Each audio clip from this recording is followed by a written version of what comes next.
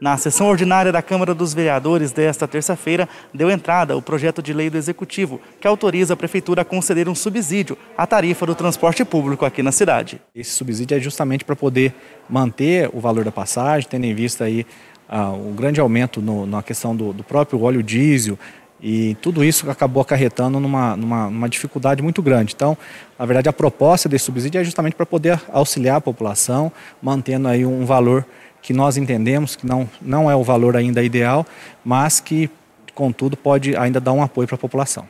O presidente da Câmara, Marcelo Leitor, entrou com um projeto de lei para a divulgação dos recebimentos de agentes públicos e contratados temporariamente pela Prefeitura. Para que uh, não só nós aqui, os vereadores, mas toda a população possa ter acesso a esses uh, valores.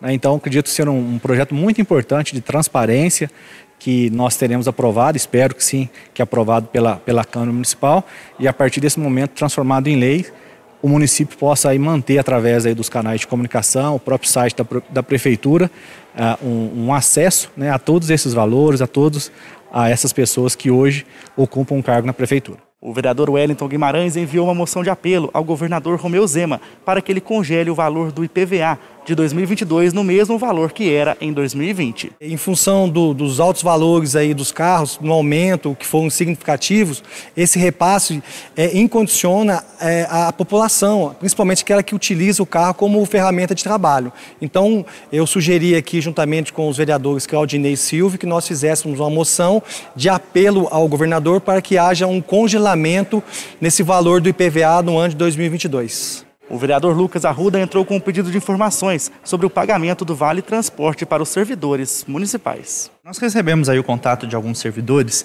que, por conta da distância do, do local de trabalho, por outros compromissos, como levar filhos à escola, enfim, é, acabam não utilizando o transporte público. E então o valor que recebem de vale transporte da prefeitura acaba não sendo utilizado.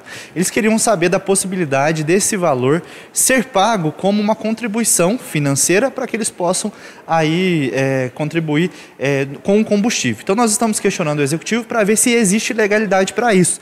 Já a vereadora Regina Maria Cioff Batagini entrou com um projeto de lei que obriga os condomínios residenciais e comerciais no município a comunicar os órgãos de segurança pública quando houver em seu interior a ocorrência de indícios de episódios de violência doméstica e familiar contra mulheres, crianças, adolescentes e idosos. Caso haja realmente é, indícios, até mesmo indícios ou mesmo constatação de violência contra a mulher, que seja comunicada aos órgãos competentes. Na tentativa de nós diminuirmos com esses instrumentos, com esses projetos que se transformados em lei, nós estarmos aí agregando valor à Lei Maria da Penha, né, através de projetos desse tipo, para diminuir o que nós estamos hoje vivendo, este cenário horrível da violência contra a mulher. A cada seis horas, uma mulher é assassinada isso não pode continuar acontecendo. As imagens são de Márcio Pinto, Pedro Magalhães, para o Plantão.